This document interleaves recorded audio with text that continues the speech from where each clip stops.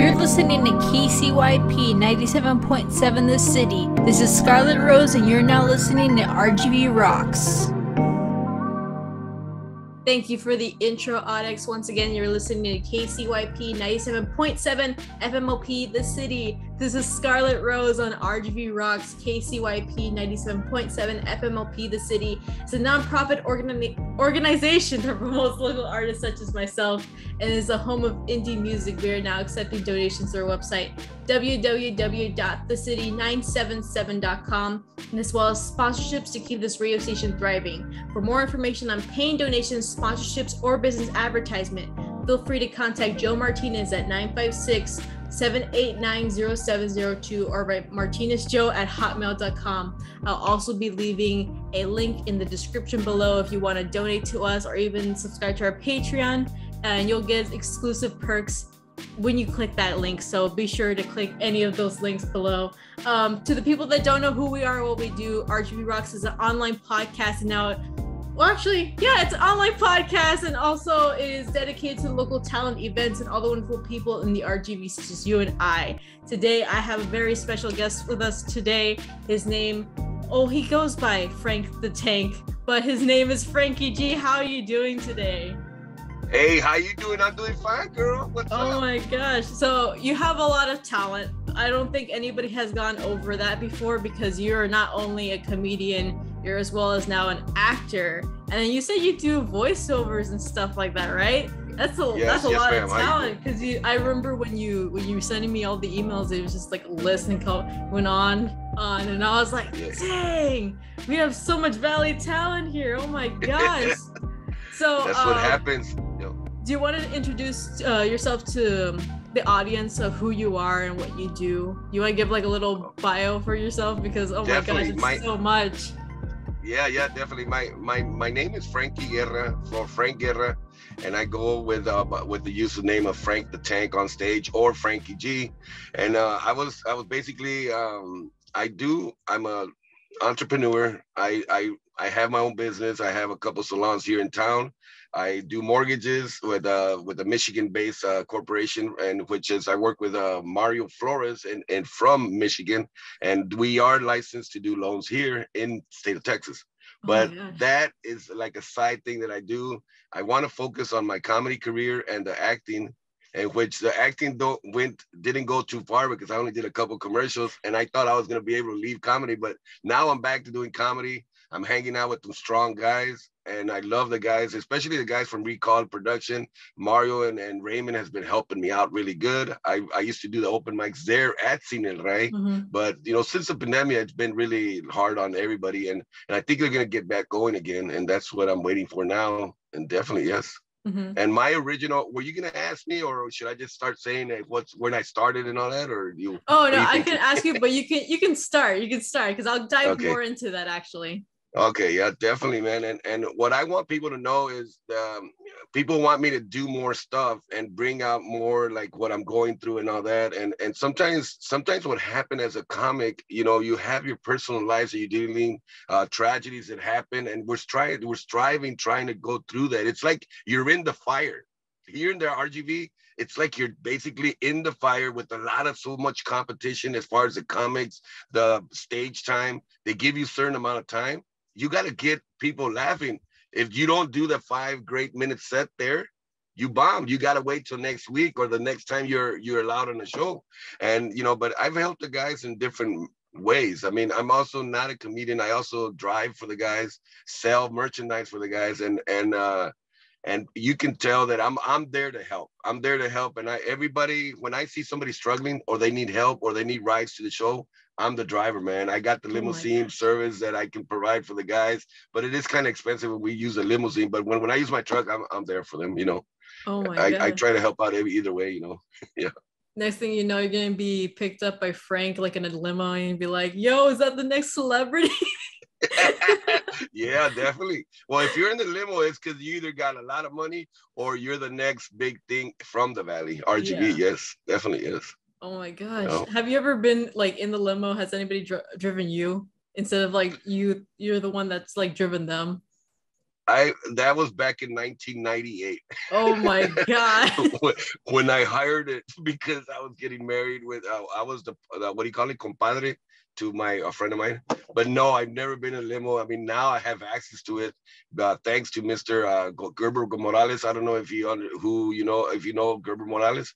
I've been working with him lately too, and we did a couple videos. One video uh, turned out to be 1.9 million views. Oh and that God. that I thought was gonna be like, oh my God, I'm gonna get my second big hit, you know. But it's tough because I'm in and out of the of the scene.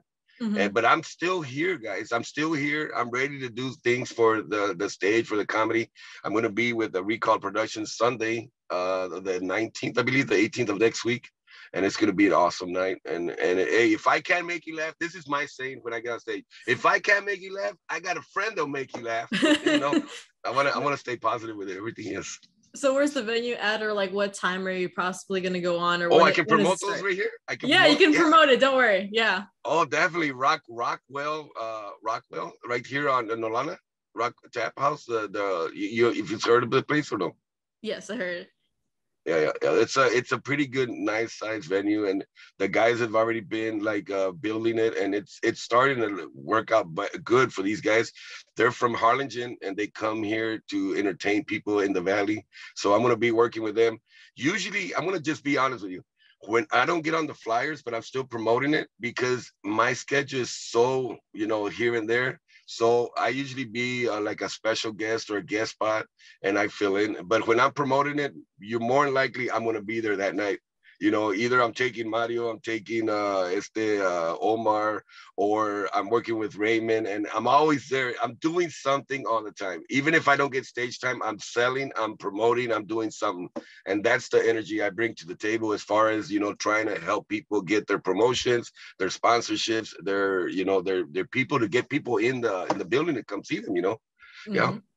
Yeah, because I know that when you first uh, came onto the show, I even before like we even started the show, you were just ready to rock and roll. Oh my gosh, it oh, was like yeah. a it was a wave of energy. Because uh, I think every single, even no, no, not even every single. I think it was just like one other comedian that had that like sort of energy and even then like i know like a lot of people that come on our show they're like really nervous and then they're like fidgeting they're like oh what do i say what do i do but you're like just ready to go oh my gosh hey and that's about a four or five hours of sleep too you know oh my yeah last night was a ruckus i was also all over the, the town you know Mm-hmm. Yeah, I, I, I, still you. think I'm 25. I still think I'm 25 in a 50 year old man body.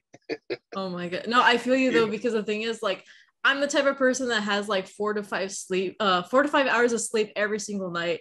And the thing is, I don't even know how I do it sometimes because uh, I know I had uh, people questioning me before. They're like, "How do you wake up so early? Like, how do you do it?" And I'm like, "I've just, just been doing up. this since like forever."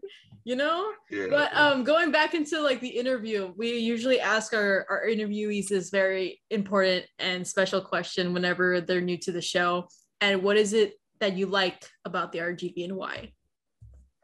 Oh, the RGV is I hold something special with RGV because I was born in the RGV. Yeah. 1969, Edinburg.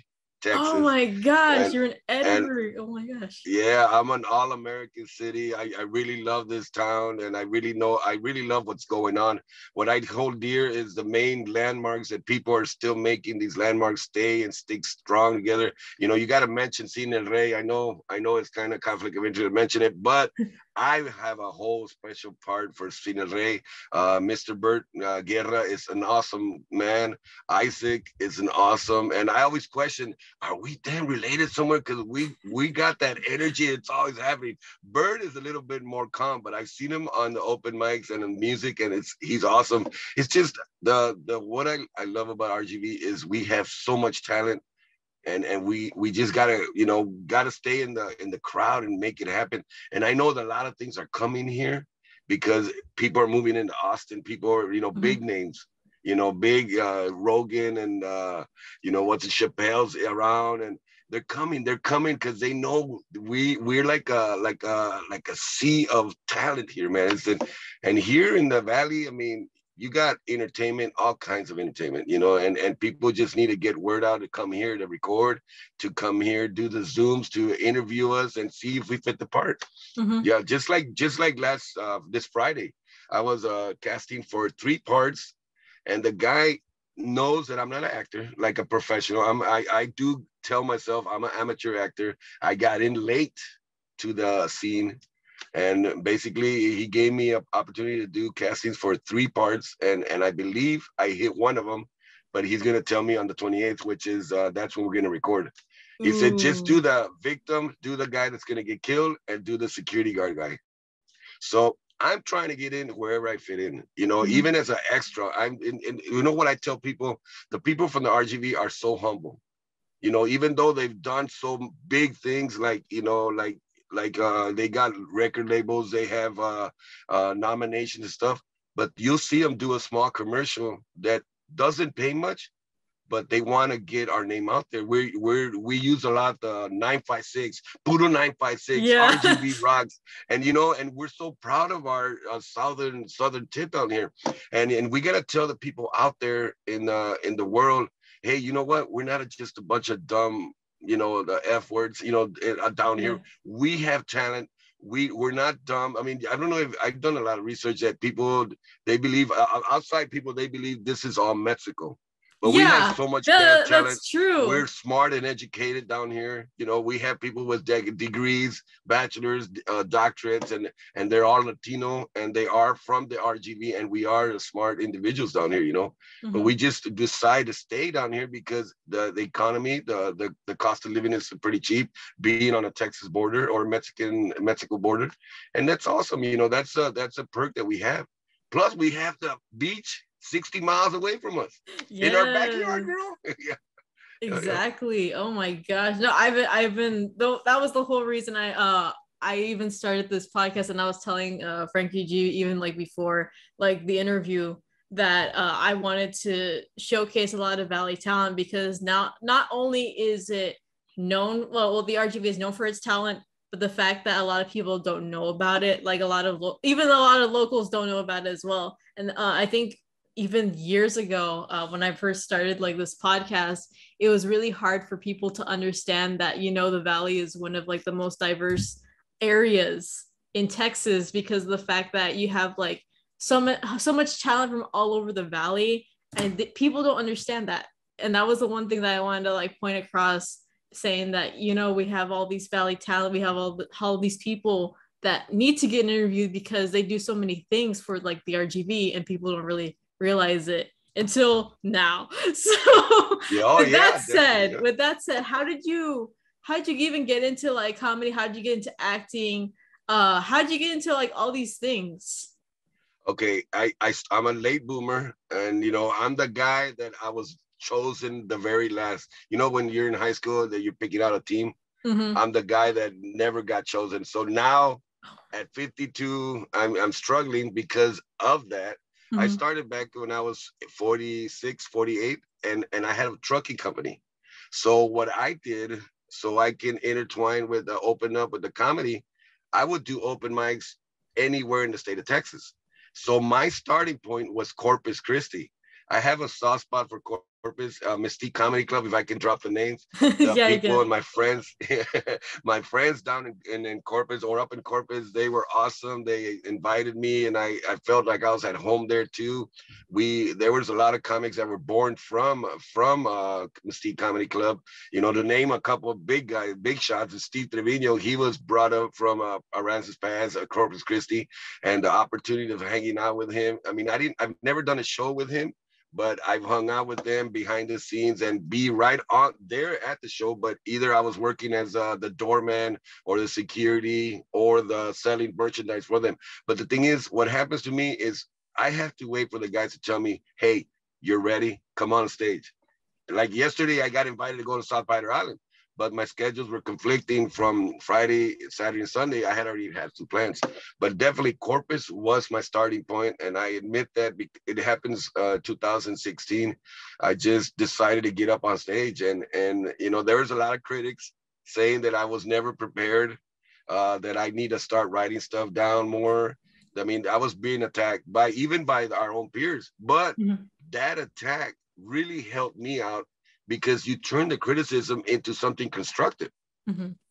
So basically, I started working on my five minute sets. I started working on big jokes, and uh, my a lot of my my friends that are like mentors now, which is Mario and Raymond and uh, Louis Cartoon, and you know, and and people always say just do it, get up there, do five minute sets at a time, and it it, it all started from there. And and then one day I got lucky, the acting part. I mm-hmm. have to say that because that's the my biggest. I don't know if you can see my shirt right here. Yeah, I see it. I promote. I promote the together.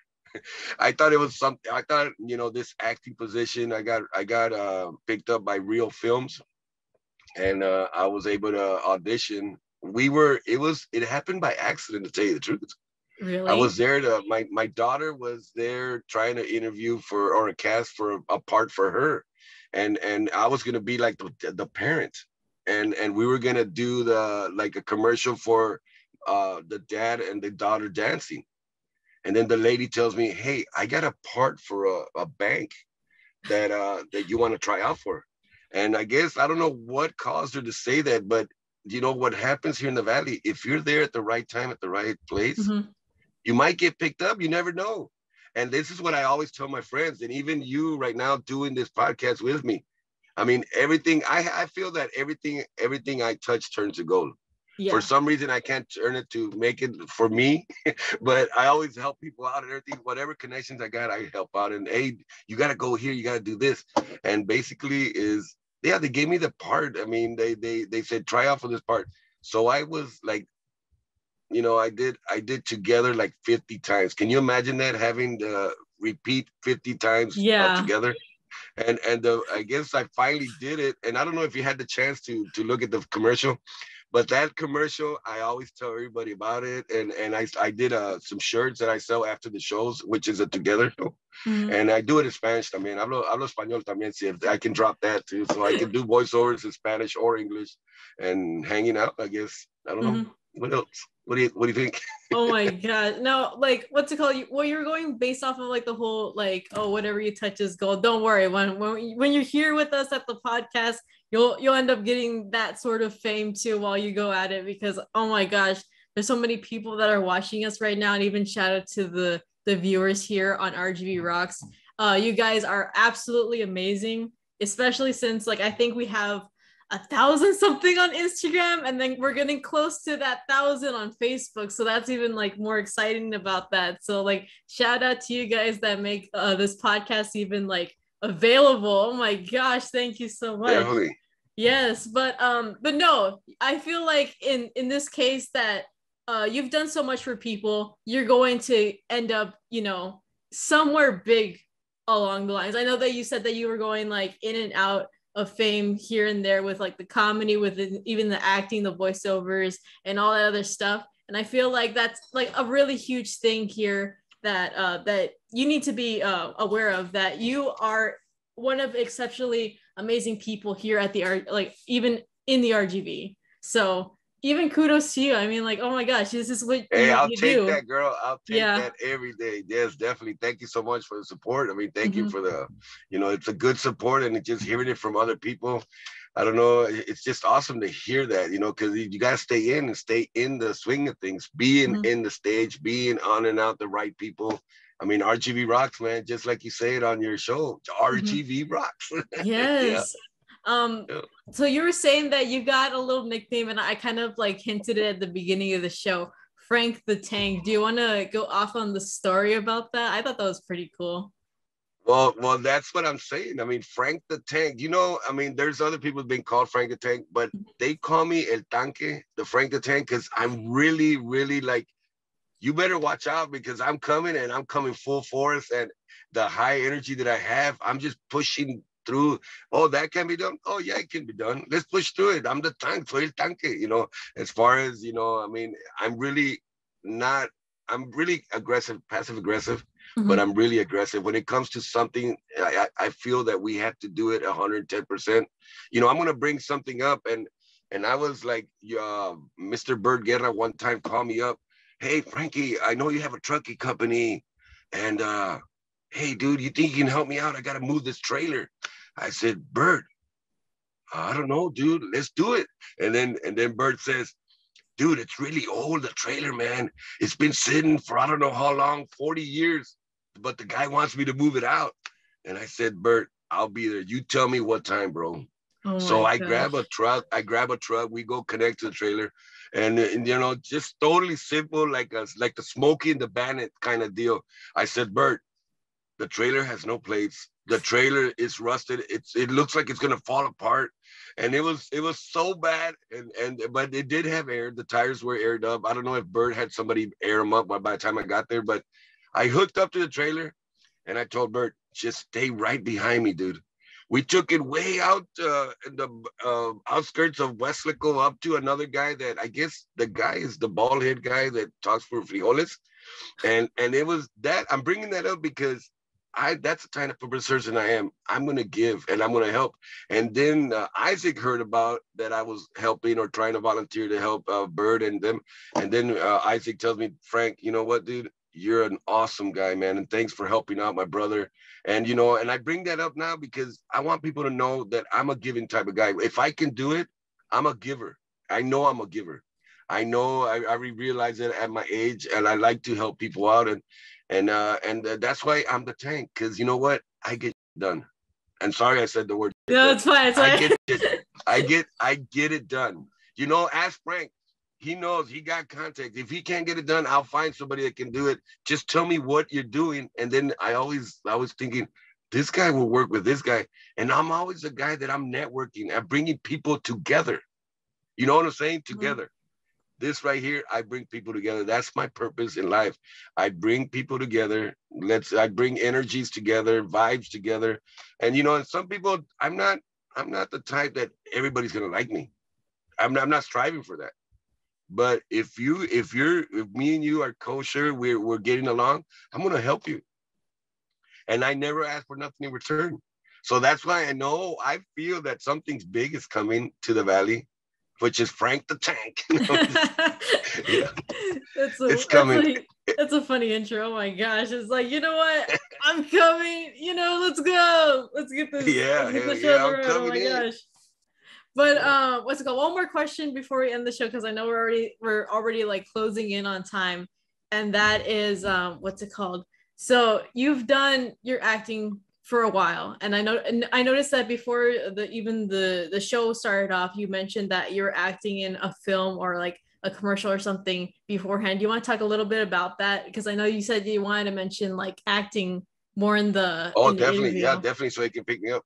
What I, what I do is I partake in, in the acting part when I'm I'm always casting. I it's it's the ABCs of sales right? I'm always the ABC is a always be casting. So my thing uh, I went to go cast for uh, uh, for JC Films. He's gonna do a little script about a guy a Mexican dude trying to become a security guard in the United States and he doesn't have no papers. He doesn't have nothing to tie him into the United States, but he's trying all his best to get to become this security guard and big old law enforcement. So, you know, he has his mentality. So the part that I'll be playing is uh, the victim or or the the security guard itself or the the the the killer you know, because I got that the, the look of a killer, the look of narco, the the look of gangster, and and the guy says, "Dude, oh my God, man, you got so much energy." And the guy said, "You're in, uh, you're in. I'll put, I'm gonna put you in somewhere." And and then I and the guy like he gave me like the lines. He didn't give them beforehand. He gave it to me on the spot.